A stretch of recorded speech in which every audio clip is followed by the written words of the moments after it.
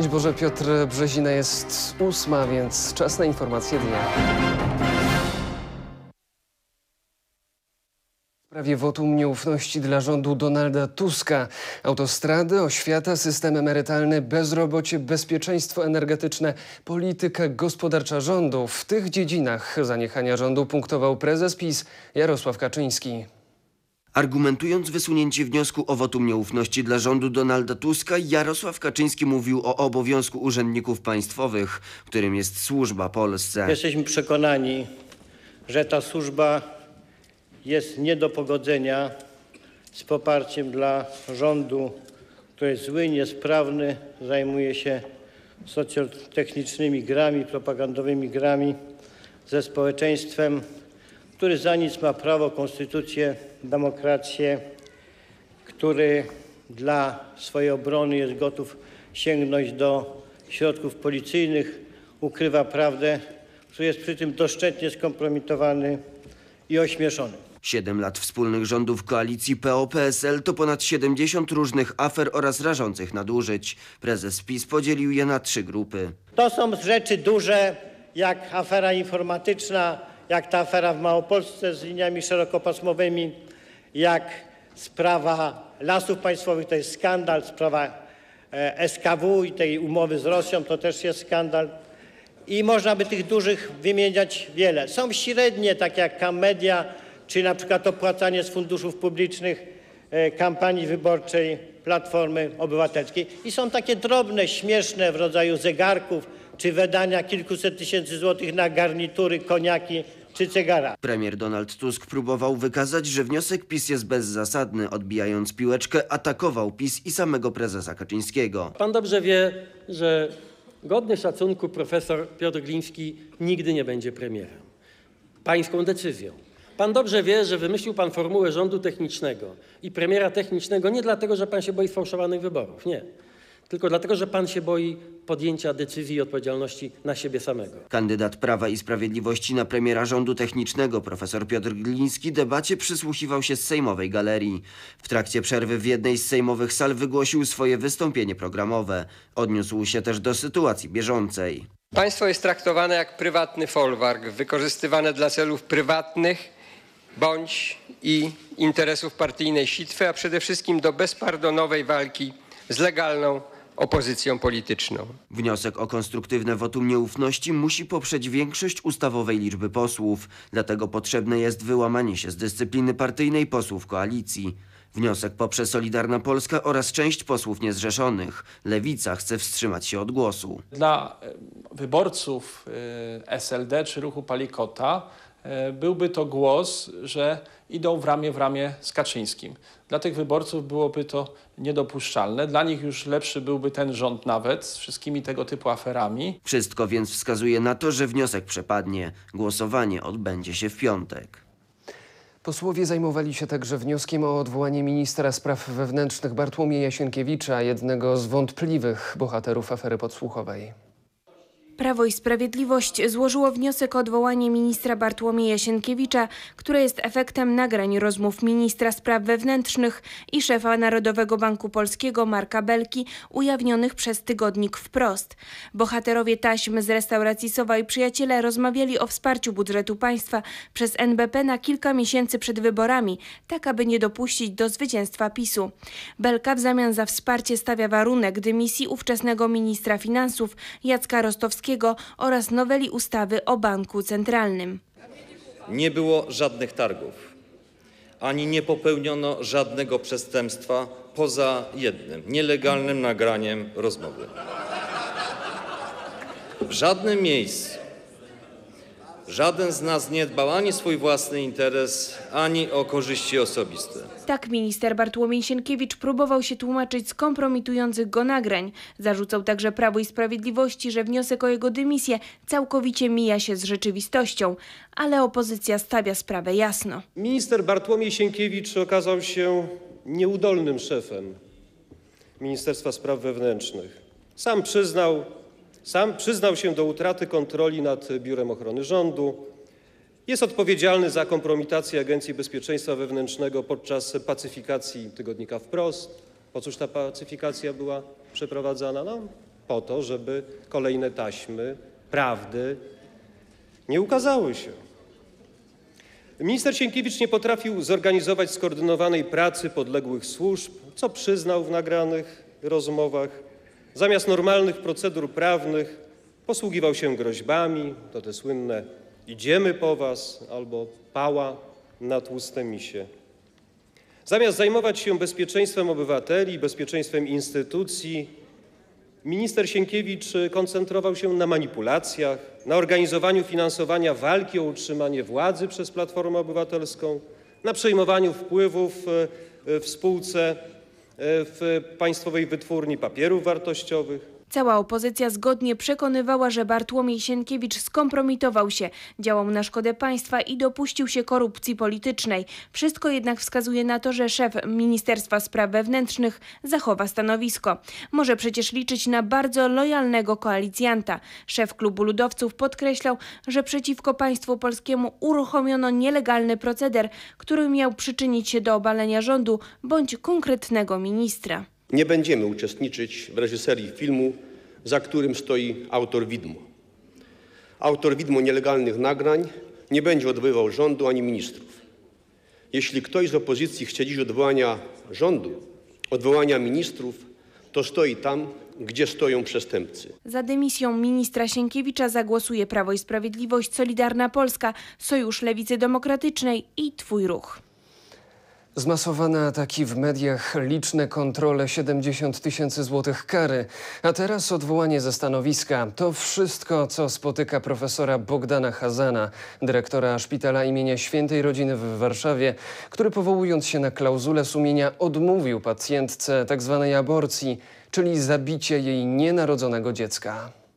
Ta plansza pokazuje, jak odbywa się tak zwana aborcja metodą rozczłonkowania wewnątrz macicy. Za pomocą szczypiec odrywane są nogi, ręce i głowa nienarodzonego dziecka. Potem na zewnątrz wydobywany jest okaleczony tułów. To egzekucja bez żadnego znieczulenia, dopuszczalna do 24 tygodnia życia. Ktoś, kto tego nie widział, nie uwierzy w barbarzyństwo tego procederu. Tego się nie da opisać, co przeżywałam. Przeżywałam przygnębienie, taką, taką wewnętrzną rozpacz, bo do dzisiaj mam y, przed oczami to ostatnie dzieciątko. Powołując się na klauzulę sumienia, zgody na zabicie ciężko chorego dziecka, które zmarło wczoraj wieczorem, nie wydał profesor Bogdan Hazan. Nie wskazał też tego, kto miałby przeprowadzić tę egzekucję. Mimo to proponował pacjentce zapewnienie jak najlepszej opieki medycznej podczas ciąży, a także w czasie porodu. Wydaje się, że poświęciłem jej dużo czasu, tyle ile mogłem, żeby, e, żeby dowiedzieć się, jaka jest jej sy- sytuacja, jakie są, jakie są motywy, odwieść się od tego zamiaru. Proponowałem e, skierowanie do hospicjum perinatalnego, gdzie otrzymałaby e, fachową pomoc do czasu porodu, pomoc psychologiczną. Proponowałem także opiekę medyczną u nas podczas ciąży. Za odmowę tak zwanej aborcji, czyli zabicia dziecka nienarodzonego, profesora Bogdana Hazana czeka kara. Wczoraj prezydent stolicy Hanna Gronkiewicz-Walc zdecydowała, że dyrektor szpitala imienia Świętej Rodziny w Warszawie straci stanowisko. Kontrolujący stwierdzili uchybienia i błędy, które wprawdzie nie stanowiły bezpośredniego zagrożenia dla pacjentów szpitala, ale mogą świadczyć o sprawowaniu niedostatecznego nadzoru, zarówno w kwestiach formalnych, jak i merytorycznych w szczególności. Odwoływanie się w obowiązujących procedurach do nieaktualnych regulaminów, prowadzenie dokumentacji medycznej, niekompletność dokumentacji pacjentki, lakoniczność opisów badań, naruszenie zasady niezwłoczności przy dokumentowaniu istotnych zdarzeń. Pełnomocnik profesora Bogdana Hazana Jerzy Kwaśniewski podkreśla, że żadne z postępowań nie zostało jeszcze zakończone, a profesor może się odwołać. Pan profesor jest zaskoczony, pan profesor nie zna protokołu kontroli, wbrew temu, co ogłosiła pani prezydent Hanna Gronkiewicz-Walc. E, Pan profesor oczekuje na doręczenie protokołu. Zwracam Państwa uwagę, że żadne z postępowań administracyjnych, o których jest głośno w ostatnich dniach, nie zostało jeszcze zakończone, wbrew informacjom rozpowszechnianym przez ministra zdrowia, rzecznika praw pacjenta, czy dzisiaj panią, panią prezydent. Kolejny wypadek z udziałem cywilnych samolotów. Dwie Cessny zdarzyły się w powietrzu w pobliżu Radomia. Dwie osoby zginęły, a dwie odniosły obrażenia.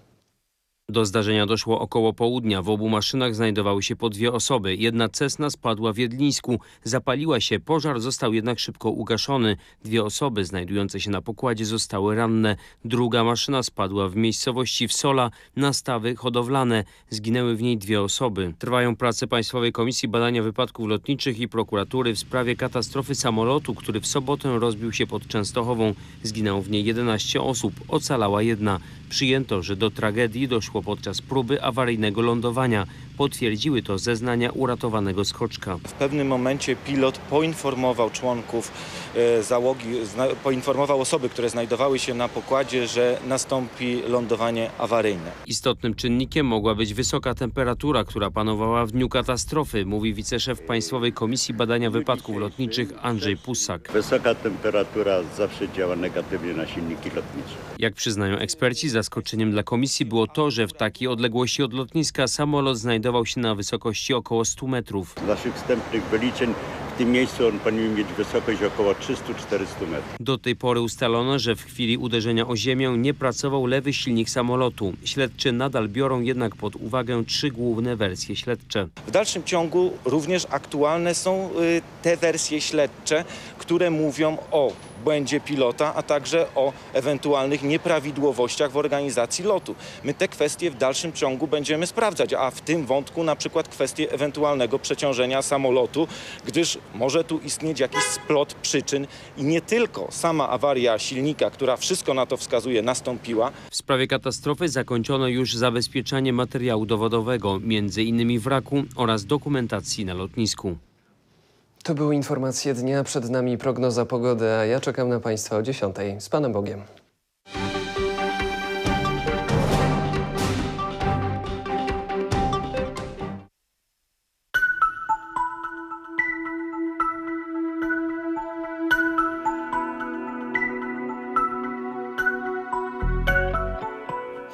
Szczęść Boże, Julita Mirecka. Wszystkich Państwa zapraszam na informacje o pogodzie. Na wschodnich, a także zachodnich krańcach Europy dominują układy wysokiego ciśnienia. Pozostała część kontynentu znajduje się pod wpływem niżów z aktywnymi frontami atmosferycznymi, w zasięgu których jest także i Polska. Nad obszar naszego kraju zacznie napływać chwiejna, dość wilgotna masa powietrza.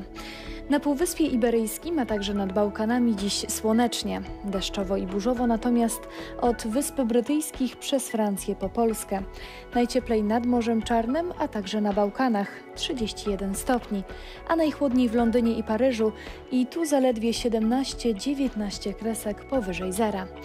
Tak przedstawia się prognoza pogody dla Europy, a już teraz przechodzimy do warunków pogodowych w Polsce.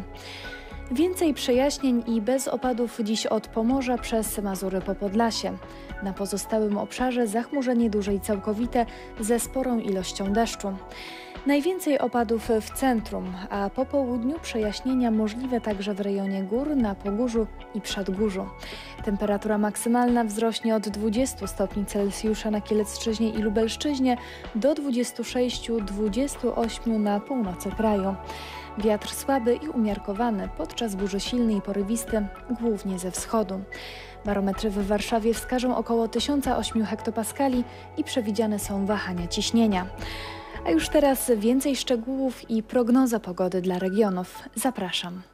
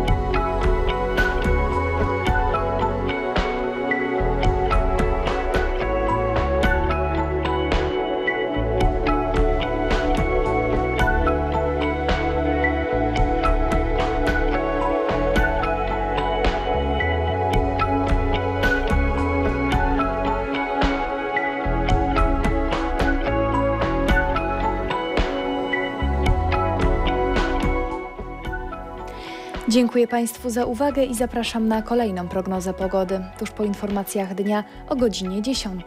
Do zobaczenia.